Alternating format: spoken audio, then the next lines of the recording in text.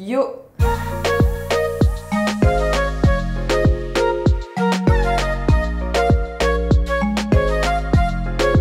Hello tout le monde, j'espère que vous allez bien. On se retrouve dans une nouvelle vidéo. Donc dans cette vidéo, je vais aborder un sujet qui me tient beaucoup à cœur. Je vais vous parler d'un de mes complexes qui m'a pas mal affecté dans le passé. C'est un sujet dont on ne parle pas beaucoup, je trouve. On n'en parle pas assez selon moi. Comme vous l'avez vu dans le titre, on va parler de poids et notamment du fait d'être fine, d'être considérée comme une euh, skinny. Je sais qu'il y a quelques années, j'étais tombée sur une vidéo d'une fille qui parlait de ce sujet et que ça m'avait fait tellement de bien de voir que quelqu'un d'autre en parlait, enfin tout simplement qu'on en parle en fait. Et je m'étais dit, mais en fait, euh, je suis pas la seule à ressentir ça.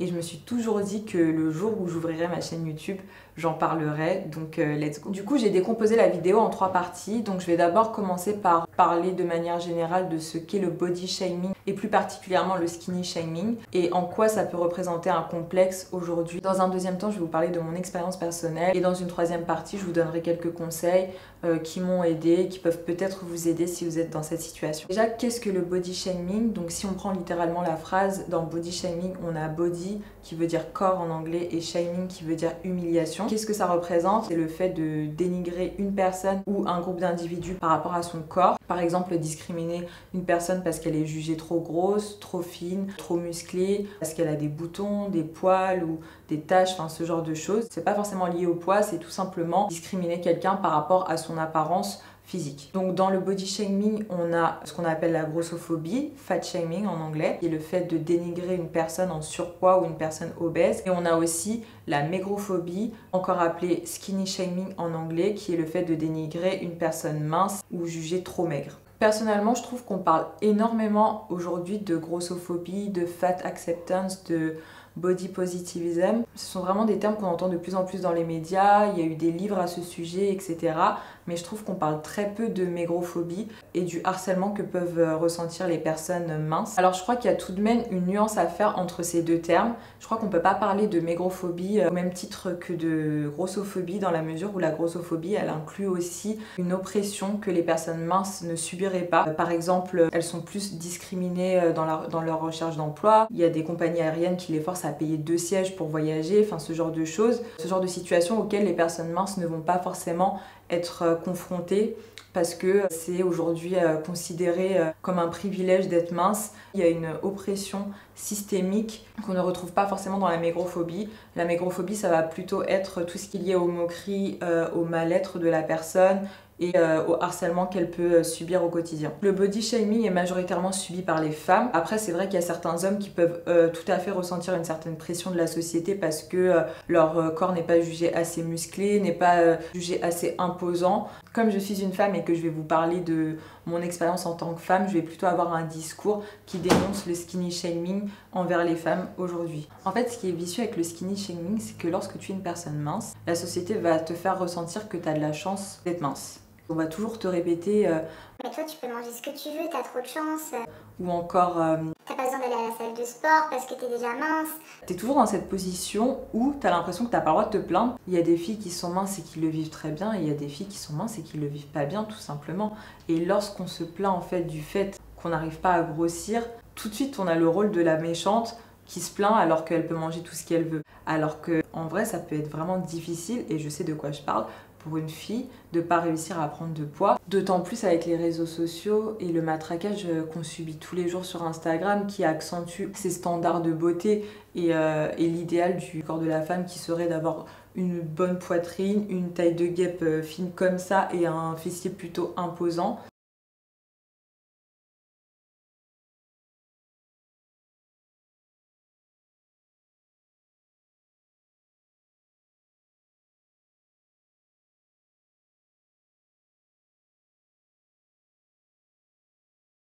Je veux dire, il y a énormément de pression que subissent les femmes à cause des dérives des réseaux sociaux, de ce matraquage, à cause des pseudo-débats du type euh, skinny vs chargé qu'on voit à longueur de journée sur les réseaux. Euh, enfin, c'est vraiment des, choses qui peuvent blesser certaines femmes et qui, les incitent à se comparer, à être en compétition. Tout ça pour répondre à des semblants de critères de beauté définis par la société ou pour euh, plaire davantage aux hommes, etc. Enfin, moi, personnellement, je me dis, mais heureusement que Instagram n'existait pas quand j'avais 13 ou 14 ans, parce que t'imagines, tu grandis euh, avec ce matraquage sans forcément te dire que euh, bah, ce que tu vois sur les réseaux sociaux c'est faux et que c'est pas la réalité. Et que voilà tout simplement ton corps il change.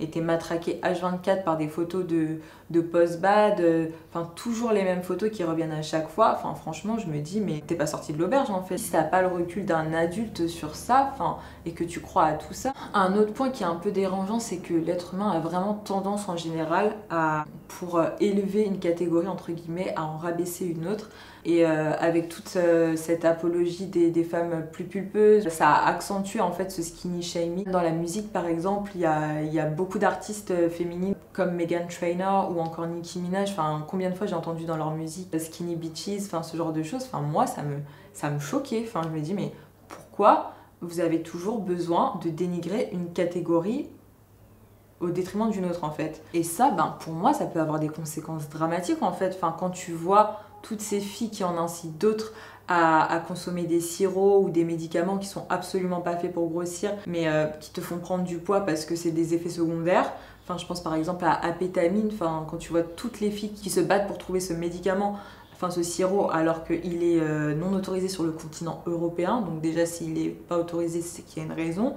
Et deuxièmement, il n'est absolument pas conçu euh, pour prendre de la masse en fait. C'est, je crois, de base un médicament qui, euh, qui est fait pour les allergies et pour la rhinite, il me semble, mais absolument pas euh, conçu dans le but de te faire grossir. Donc certes, dans les effets secondaires, il y a l'augmentation de l'appétit, la prise de poids, mais ça, ça fait partie des effets secondaires. Effets secondaires, ça veut dire que c'est des effets indésirables en fait. Les autres effets dont personne ne parle, par contre, on peut citer les maladies cardiovasculaires, euh, les vertiges, la fatigue, la somnolence, les glaucomes, qui est une maladie de, de l'œil, maladie des yeux. Ça, par contre, euh, euh, ça n'affole personne. Donc, enfin, franchement, moi personnellement, ça me choque de voir qu'on fait la promo de, ces produits-là qui sont pas autorisés, qui sont absolument pas destinés à, faire grossir en fait. En plus, tu es censé consommer ce produit pendant des années et le jour où tu arrêtes, tu vas tout perdre. Donc en vrai, ça n'a aucun sens. Du coup, maintenant, je vais vous parler un peu de mon expérience personnelle. Donc moi j'ai toujours été très mince euh, depuis que je suis enfant. Je prends difficilement du poids. Je pense que c'est génétique. Enfin on est quatre euh, frères et sœurs, on est tous pareils, on est tous euh, super minces. J'ai beau manger, je grossis pas. On m'a l'a toujours fait remarquer. Après quand j'étais enfant, je m'en souciais pas vraiment, je, m'en foutais parce que j'étais petite. Et on va dire que c'est à la fin du collège, début du lycée, que ça a commencé un peu à me, à me complexer. Ouais, j'avais souvent des critiques euh, pas forcément mal intentionnées du genre euh, Tu devrais peut-être manger un peu plus.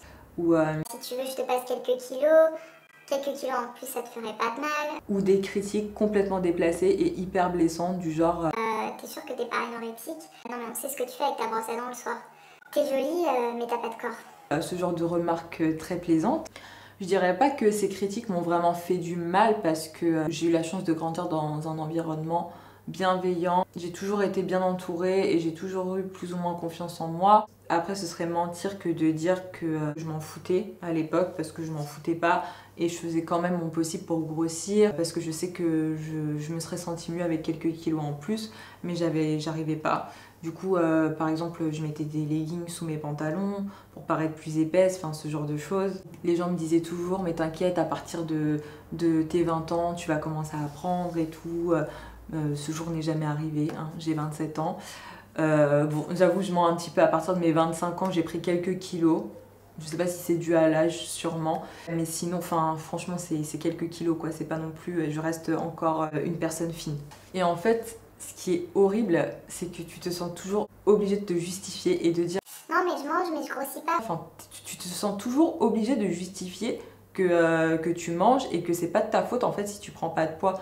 Alors qu'en soi, enfin, à quelle heure t'es obligé de justifier ça en fait? Surtout dans la culture africaine où bah, la femme africaine est quand même connue pour avoir des formes, etc. Et t'as tout le temps, j'avais les tantines qui, qui, me disaient Mais ma chérie, faut manger, fais un effort, faut manger un petit peu. Et puis si tu dis que t'as pas faim, on va te répondre C'est pour ça que t'es maigre en fait. Et donc, euh, comme je suis mince, je n'ai pas le droit de ne pas avoir faim? Enfin, c'est ridicule Quand j'avais genre 21, 22 ans, j'ai fait des régimes pour grossir. Je mangeais 5 repas par jour. Euh, à la fin, manger, ça devenait. Euh, enfin, franchement, c'était même plus un plaisir de manger pour manger. Et en plus, enfin, je faisais n'importe quoi. Je mangeais pas ce qu'il fallait. Euh, je m'étais inscrite dans une salle de sport. En vrai, c'était une catastrophe. En fait, j'essayais juste de grossir pour grossir, mais je, je faisais pas ce qu'il fallait. La salle de sport, j'avais quand même, je crois que j'avais quand même réussi à prendre 5 kilos.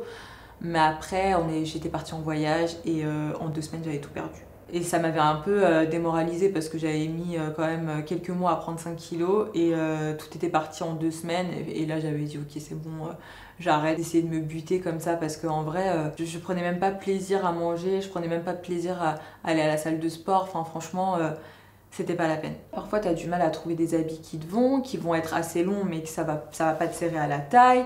Tu vas pas forcément te sentir bien en maillot de bain. Et puis mince, en vrai, ça veut pas dire ferme. Hein. Ça veut pas dire que ton corps est tonique. un corps, ça s'entretient, qu'il soit épais ou pas, en fait. C'est pas parce que t'es mince que c'est musclé. Quand on te demande des trucs du genre... Euh, T'as maigri un peu, non?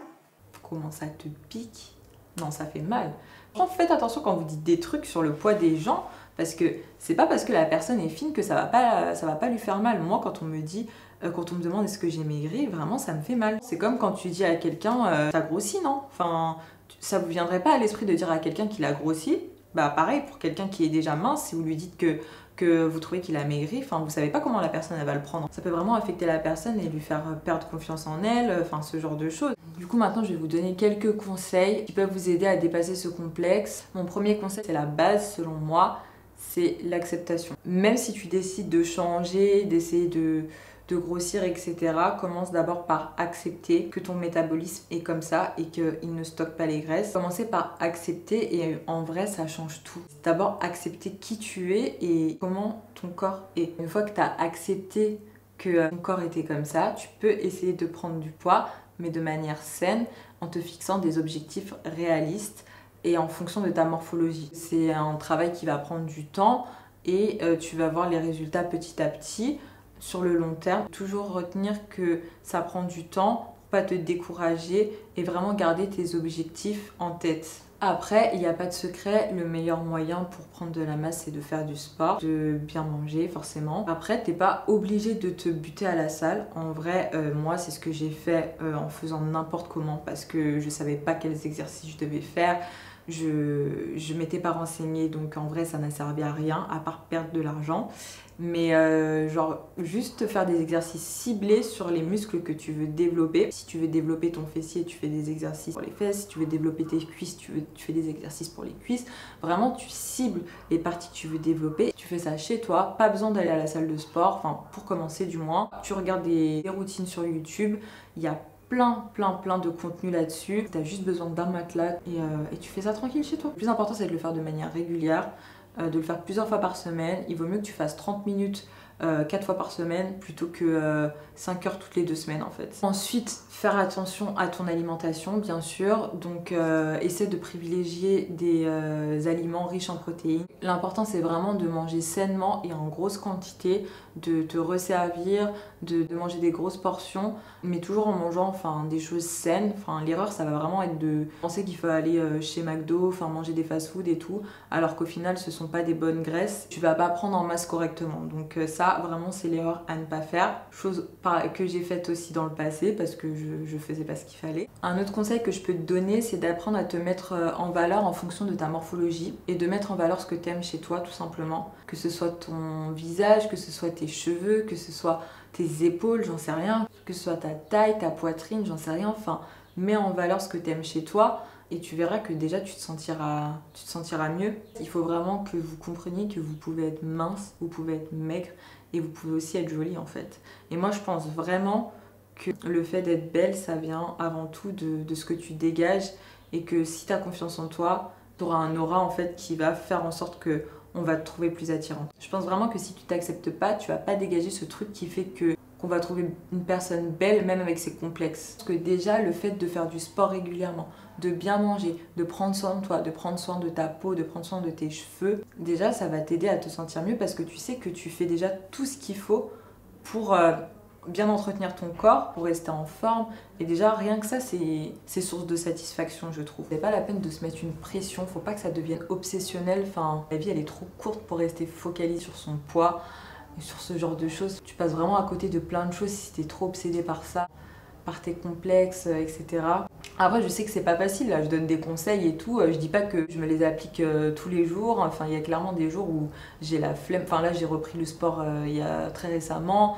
au niveau alimentation, j'ai encore beaucoup de mal. Enfin, voilà, je dis pas. Enfin, je donne juste des conseils qui, qui moi, m'ont aidé à me sentir mieux, à accepter que j'étais comme ça et que j'étais jolie comme ça. Franchement, je pense qu'il faut déjà être heureux d'être en bonne santé et, et, tout faire en fait pour garder son corps en forme, plutôt que de vouloir atteindre le poids de telle personne ou le corps de telle personne. Enfin, c'est tout corps en fait. Dernière chose que je voudrais dire, c'est que les modes changent que là, c'est ok, là on est dans une période où la mode, c'est les fessiers à la Kim Kardashian, à la Nicki Minaj. Il n'y a pas si longtemps, dans les années 90, les filles à la mode, c'était les Naomi Campbell, les Kate Moss, c'était les filles un peu plus filiformes. Après, on a eu la période, euh, c'était la mode des, gros seins, tout le monde se faisait implanter des, des, prothèses mammaires quand il y avait les Pamela Anderson, euh, Loana. Et après ça, il y a plein de filles qui ont retiré leurs prothèses mammaires. Tout ça, ce sont avant tout des effets de mode en fait.